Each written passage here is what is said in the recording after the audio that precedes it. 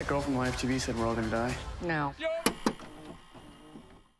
What's going on with all of our hair? He's just like a badass with a mullet. No.